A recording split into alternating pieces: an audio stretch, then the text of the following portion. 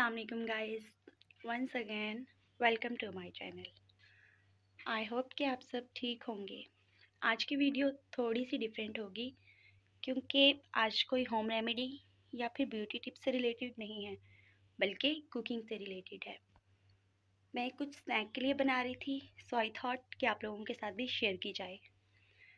तो आज मैं बनाने वाली हूँ सैंडविच जिसके इंग्रेडिएंट्स हैं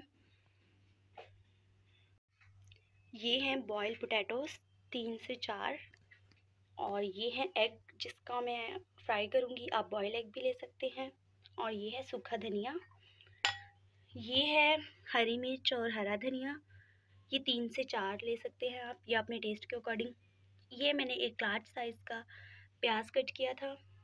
ये टू स्पून मैंने इसमें ऐड की थी रेड चिली और ये चाट मसाला, नमक और काली मिर्च।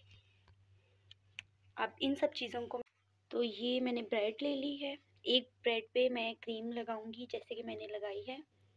उसके बाद में इसमें ये वाला मिक्सचर फिल करूँगी और एक साइड पे मैं कैचअप लगाऊँगी, जो कि मैंने आउटर कवरिंग के लिए रखनी है। जस्ट लाइक दिस ये मैंने एक ब्रेड के स्लाइस पे क्रीम लगा के और ये वाला मिक्सचर इसमें ऐड किया था और फिर मैंने ये जो अंडा फ्राई किया था, वो मैंने ऊपर रखा। और जो इसका सेकंड स्लाइस है, जो इसके ऊपर आएगा, उस पर जस्ट मैंने कैचअप लगाया है।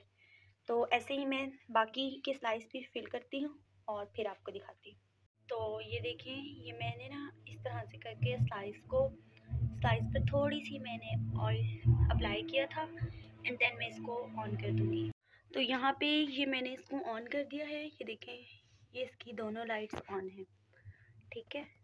और ये जो पीछे से आपको शोर सुनाई दे रहा है ये मॉस्किटो स्प्रे का है। जैसा कि पता है कि डेंगू फैल रहा है तो इस सिचुएशन में आपको और आपकी फैमिली को ज़्यादा एहतियात की ज़रूरत है। तो आप लोग भी ज़रूर एहतियात किया कीजिए, खासकर वो लोग जिनके घर में छोटे बच्चे हैं। चलें, जब तक ये रेडी हो रहा है, देखते हैं। क्योंकि ये मेरा फ़र्स्ट ट्राई है तो आज से पहले मैंने कभी इस पर ट्राई नहीं किया था। तो देखते हैं ये कैसा बनता है। मुझे थोड़ी बहुत स्मेल आ रही है। लेकिन देखते हैं ये किस तरह से ये क्लेम करते हैं कि जब ये खुद ही बन जाएगा तो ये एक लाइट इसकी ऑन ऑफ़ हो जाएगी। तो मुझे नहीं पता इसकी कौन सी लाइट ऑन ऑफ़ होगी।